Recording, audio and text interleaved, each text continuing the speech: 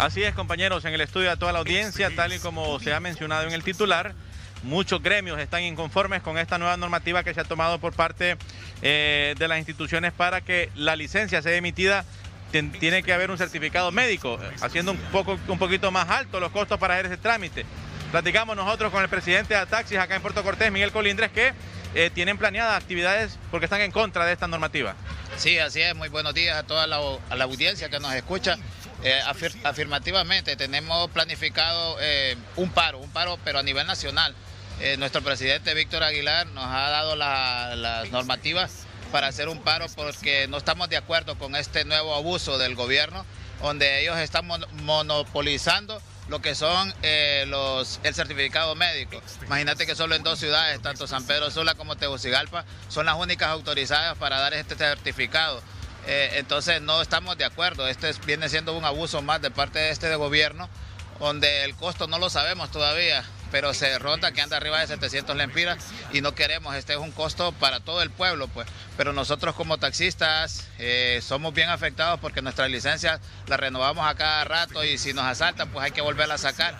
Entonces consideramos que es un abuso, consideramos que esto es un abuso, eh, un, negocio, y nosotros lo miramos como negocio de parte del colegio médico y disculpen, pero es así, es un negocio para ellos y, una pérdida para nosotros. Para nosotros los porteños y homoenses es un poquito complicado porque no requiere solo los 700 o 800, lempiras que pueda eh, significar el costo, sino que también un día de trabajo y un día perdido. Correcto, viajar a la ciudad de San Pedro Sula, ir a hacer unas tremendas filas que se hacen allá, alimentación.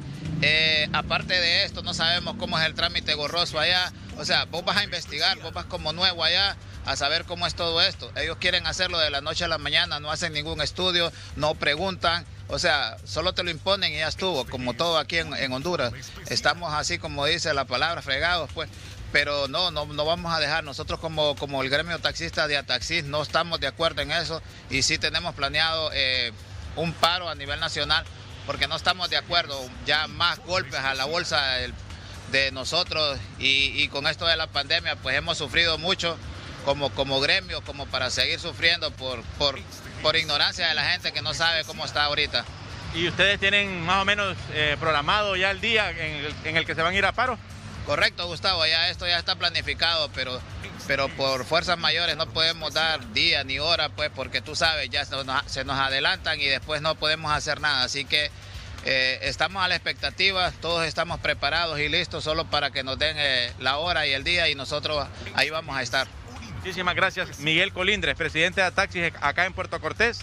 Y creo yo que este es el malestar no solo del gremio de taxistas, sino que de todos los que conducimos un vehículo, porque ahora va, a tocar hacer un trámite un poquito más engorroso y sobre todo los que no tenemos la oportunidad de poder tener este, eh, recibir este recertificado médico en estas ciudades, sino que hay que trasladarse hasta San Pedro Sula o hasta Tegucigalpa.